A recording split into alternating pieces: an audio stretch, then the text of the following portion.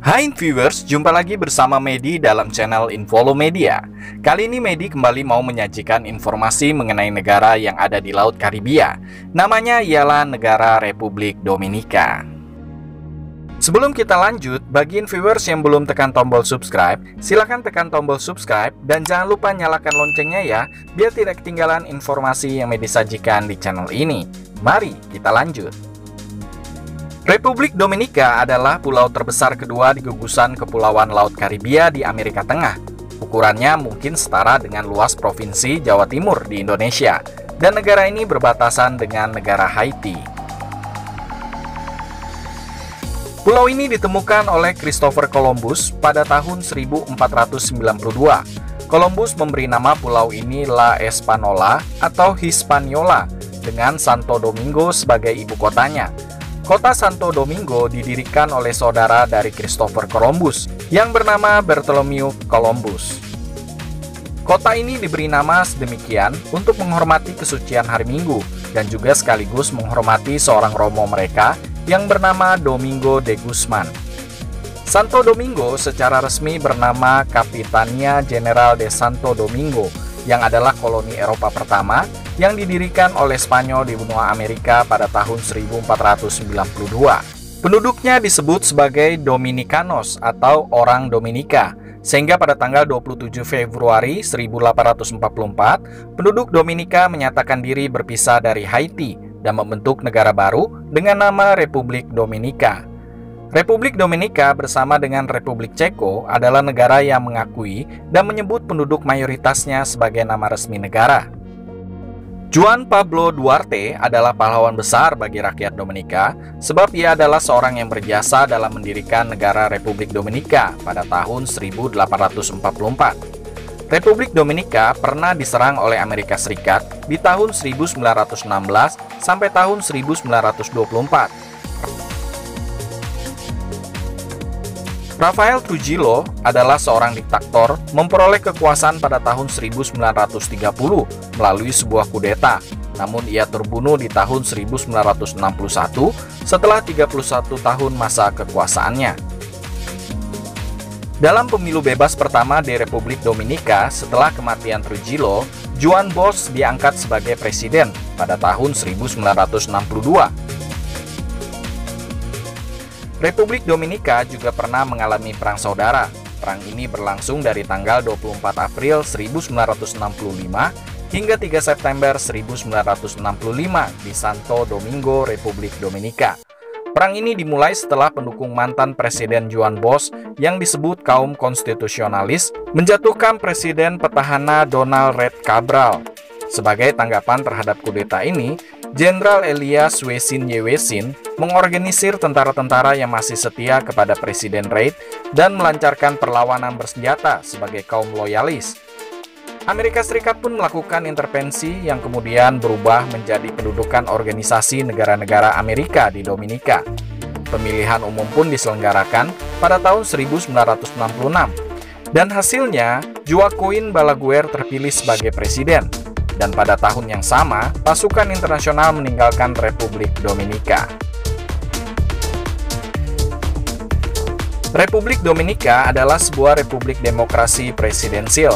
Pemerintahan dibagi atas tiga cabang, yakni eksekutif, legislatif, dan juga yudikatif. Nama ibu kota Republik Dominika adalah Santo Domingo, yang sekaligus ditetapkan menjadi warisan dunia oleh UNESCO. Sedangkan jumlah penduduk negara ini sebanyak 10,63 juta jiwa di tahun 2018. Kekristenan adalah agama yang paling banyak dianut di Republik Dominika. Secara historis, agama Katolik mendominasi praktik keagamaan negara ini, dan sebagai agama resmi negara, maka menerima dukungan finansial dari pemerintah. Di zaman modern ini, kelompok Kristen Protestan dan juga non-Kristen seperti Muslim dan Yahudi telah mengalami pertumbuhan populasi. Budaya Republik Dominika sama seperti budaya negara Karibia di sekitarnya, yang adalah campuran antara kolonis Eropa, Indian Taino, dan juga unsur budaya Afrika. Bahasa Castilia yang umum dikenal sebagai bahasa Spanyol adalah bahasa resmi negara ini. Bahasa lain seperti bahasa Inggris, Prancis, Jerman, Creole Haiti, dan juga Italia juga dituturkan di berbagai tingkatan. Unsur budaya Eropa, Afrika, dan Taino paling menonjol dalam hal makanan, struktur keluarga, agama, dan juga seni musik. Banyak nama dan kata Taino digunakan dalam bahasa harian untuk sejumlah barang asli Republik Dominika. Sektor pariwisata memegang peranan yang penting bagi perekonomian negara ini. Republik Dominika memiliki sejumlah tempat pariwisata yang menarik serta dikunjungi jutaan wisatawan setiap tahunnya, seperti dari Kanada, Eropa, Amerika Serikat, dan lain-lain. Mari kita lihat tempat pariwisata di negara ini. Yang pertama ialah ibu kota Santo Domingo. Kota tua ini menyimpan banyak sekali peninggalan sejarah yang menakjubkan, di mana kota ini masih mempertahankan sejarah dan budaya kuno yang khas. Di sana terdapat bangunan-bangunan berarsitektur kolonial Spanyol yang megah, di sana kita dapat mengunjungi katedral pertama Amerika, Museum Rumah Kerajaan Alcázar de Colón, Plaza de la Cultura yang merupakan pusat museum, ada juga Istana Columbus, National Botanical Garden, yang tidak kalah menariknya ialah Osama Fort, atau yang dikenal juga dengan sebutan Fortaleza Osama. Ini adalah benteng pertama di benua Amerika yang dibangun pada tahun 1502 oleh bangsa Spanyol. Tempat yang kedua ialah Punta Cana. Punta Cana merupakan daerah wisata yang paling populer yang terletak di ujung timur Republik Dominika. Pemandangan yang indah dengan laut yang biru, pasir putih, ombak yang tenang, menambah suasana yang nyaman ketika berada di sana. Di lokasi ini juga terdapat resort dan juga lapangan golf yang berkelas dunia, taman space yang menawarkan kereta dune, tour Zeppelin, dan kita juga dapat berkunjung ke Laguna Hoyo Azul Pantai ini juga merupakan destinasi favorit bagi pasangan baru yang ingin berbulan madu. Tempat yang ketiga ialah La Romana. La Romana adalah rumah Altos de Cavon yang berada di pantai tenggara Republik Dominika.